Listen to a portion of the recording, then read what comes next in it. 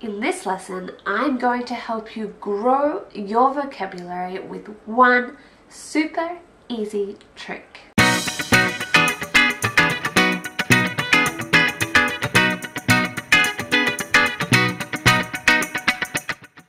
Today's lesson is a request from Reza. If you have a topic that you would like me to teach you, please let me know in the comments below. My name is Cara and I teach English online with Number One Institute. If you would like more lessons like this one, as well as grammar, listening, speaking, reading, writing, then make sure you subscribe because I have a new lesson every Sunday. So, What's this super easy trick to grow your vocabulary? It's the suffix en. A suffix is something you can add to the end of a word. You can add this suffix to lots of nouns and adjectives, ones you already know, and then bang, you have a new verb. Let's have a look. Here's an adjective, sharp. And here's a pencil. It's not very sharp. Let's sharpen it. I hope you like my ladybird sharpener. Let's sharpen it. Make it sharp. All I did was add en and I've made the verb sharpen to make sharp. Let's try it with a noun. Strength. Strength. Let's add en. Strengthen. Strengthen. For example, I don't have the strength to lift this table. And as the verb, I need to strengthen my muscles. I need to strengthen my muscles. So the magic formula is the noun or the adjective, usually the adjective. Add en and bang, we have a verb. So a number of these cases with en are about size.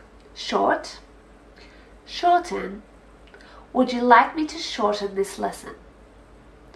Wide, widen, the council are widening the street. Deep, deepen. This has helped to deepen my understanding of the crisis. Broad, broaden. Traveling has broadened my horizons. Broaden my horizons or broaden your horizons. This is a phrase and it means to expand your activities or interest or knowledge. Length. Lengthen. I'd like to lengthen my lashes. Height. Heighten. We need to heighten this chair. We also have a few colors or shades.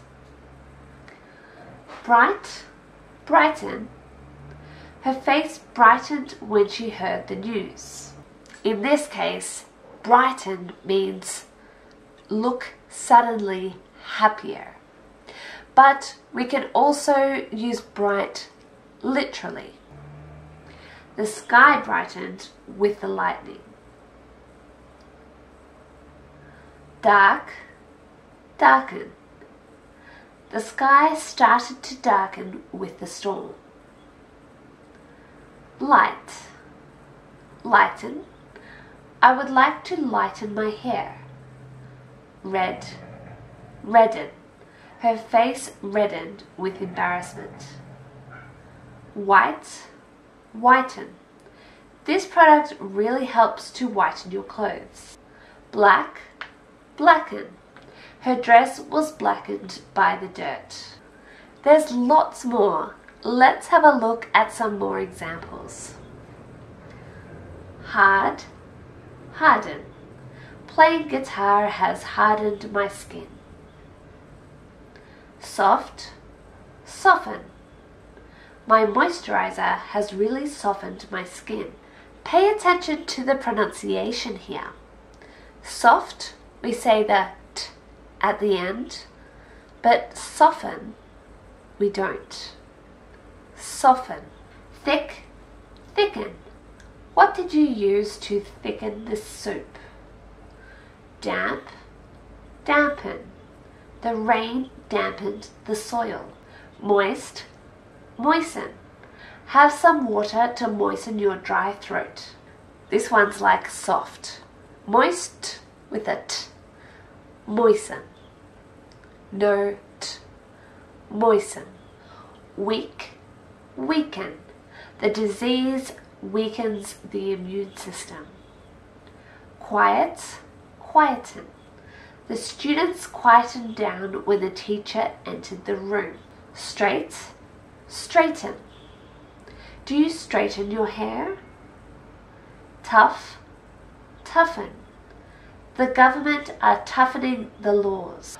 There's also a phrasal verb, toughen up, toughen up, which means the same thing. Threat, threaten. They threatened him with a gun. Sweet, sweeten. If it's not sweet enough, you can sweeten it with some sugar. Loose, loosen. I must have put on weight. I need to loosen my belt. Tight, tighten. We need to tighten this screw. Worse, worsen. The health situation is worsening. Ripe, ripen. The avocados are ripening really quickly. Sad, sadden. The news saddened me. Flat, flatten. They are flattening the ground to install a swimming pool. Awake, awaken. He awakened at the sound of the phone. Fright, frighten. She frightened the birds away. Alright, here's a test for you. Can you fill in the missing word? Number one.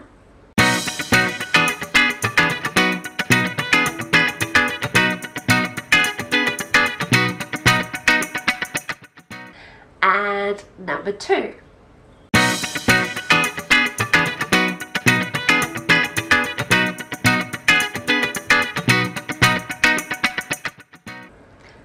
Answers down in the comments below. If you would like more practice like this and to see a full list of all of these words with the suffix en, then go over to this website and you'll be able to find everything there as well as some more exercises to test your understanding. Thanks for watching. I have a new video every Sunday, except for next Sunday because I'm having a little holiday. I hope you're all doing really well and I'll see you in a couple of weeks. Bye!